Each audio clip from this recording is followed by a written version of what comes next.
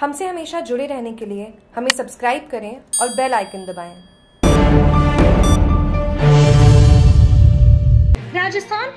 चलाए जा रहे विशेष अभियान आवास के तहत गांव-गांव बैठक आयोजित कर महिलाओं को किया जागरूक। रतनलाल डीवाईएसपी के निर्देशन में रानीवाड़ा पुलिस थाना अधिकारी पद्मा राम राणा के सुपरविजन व बड़गांव पुलिस चौकी इंचार्ज किशोर सिंह के नेतृत्व में बिट प्रभारी लालू राम मीना द्वारा महिलाओं व बालिकाओं की सुरक्षा सुनिश्चित करने, उन्हें अपने अधिकारों और कानून के प्रति सुरक्षा करने तथा लैंगिक समानता की भावना प्रबल करने के उद्देश्य से रूपावटी खुर्द में राजस्थान पुलिस द्वारा विशेष अभियान आवास के तहत महिलाओं को जागरूक करने के लिए मीटिंग ली गई।